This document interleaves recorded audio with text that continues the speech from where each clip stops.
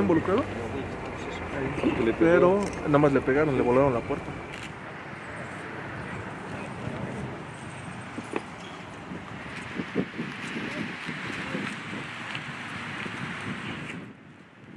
Tres personas muertas y una más lesionada fue el saldo de un accidente en el kilómetro 1.5 de la carretera La Puerta Sultepec en el municipio de Sinacantepec.